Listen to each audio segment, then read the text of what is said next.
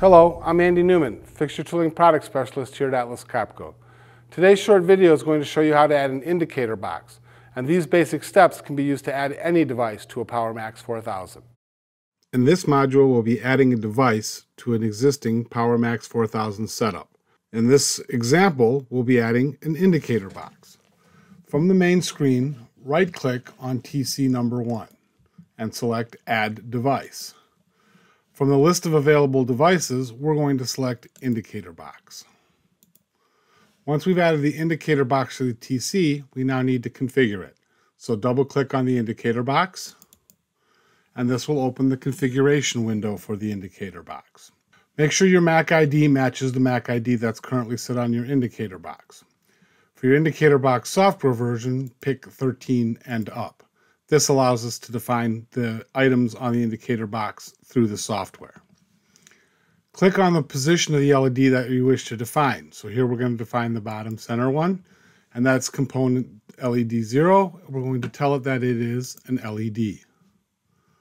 We're now going to tell it that a green LED, or to turn on green, once we have cycle OK, and the red LED is going to turn on if we have a cycle not OK.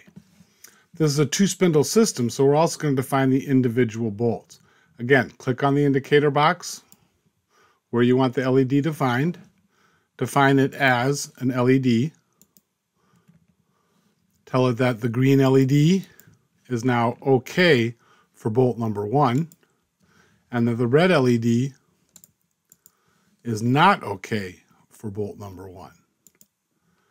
Pick the next location that you wish to define on the indicator box.